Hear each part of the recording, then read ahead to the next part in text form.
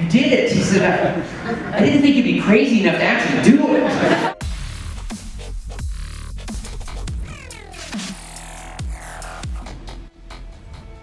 A whale. Hundred feet long. White as alabaster. I have um, had Final Cut for many years. That's a great luxury that I earned and I protect it. I had Final Cut when I was doing Apollo 13.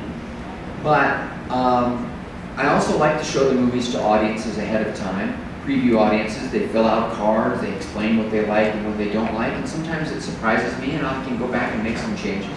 So sometimes it can be very helpful.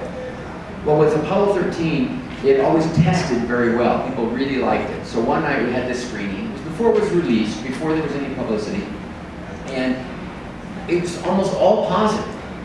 You know, everybody liked it and or loved it. I looked at these 400 cards and there was one that said poor. So of the 400 cards, which one did I find first? the one that said poor. And it was a it was this Caucasian 23-year-old male. I don't know his name. I never That's who he was. And he didn't like it, poor, negative, wouldn't recommend it. Uh, and finally, I couldn't figure out why. I flipped over the back, and there was a question about the ending. And um, it, it, said, uh, please tell us what you think of the ending. And he said, terrible. More Hollywood bullshit. they would never survive. and of course, they didn't, he didn't know it was a true story. And I realized this is the power and the value of true stories, is you can actually find stories that are so extreme in their drama or in their, in their bizarreness. And if you bring that to life, you have license to do it and explore it fully because no audience member can tell you bullshit. Uh, you know, you are coming from a place of, uh, of truth. I didn't sign on. Fulfilling to God knows not! Cocoon meant a lot to me in my career, uh, and I learned a great deal um, making that. Uh, Beautiful Mind uh, was uh, sort of a culmination, uh, you know, of a lot of things, and, and I learned a great deal about minimalism and the power of that in, in Frost Nixon.